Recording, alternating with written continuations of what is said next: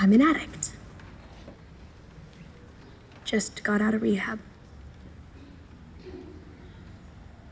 It's one of the very few things in my life that I never posted about on TikTok or Instagram because it didn't fit into the perfect commercial for the perfect life I was trying to advertise. Like layers and layers of secrets I've been trying so hard to keep covered up. But the truth is, my addiction isn't the only secret I've been keeping. There's another secret.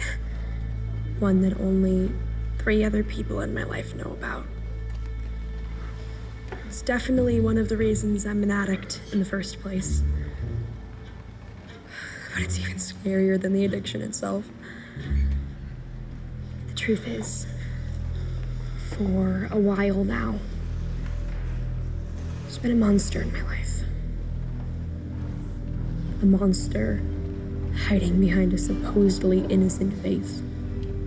It's actually been driving certain behavior on my part that may have looked pretty bad from the outside.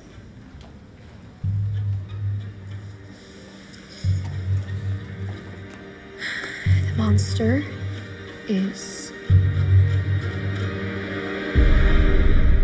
my mother.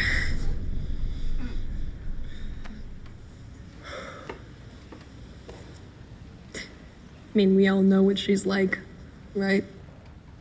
Controlling, self absorbed, narcissistic. It's no wonder I'm an addict. Frankly, with my mother as a role model, a miracle I'm not a hooker.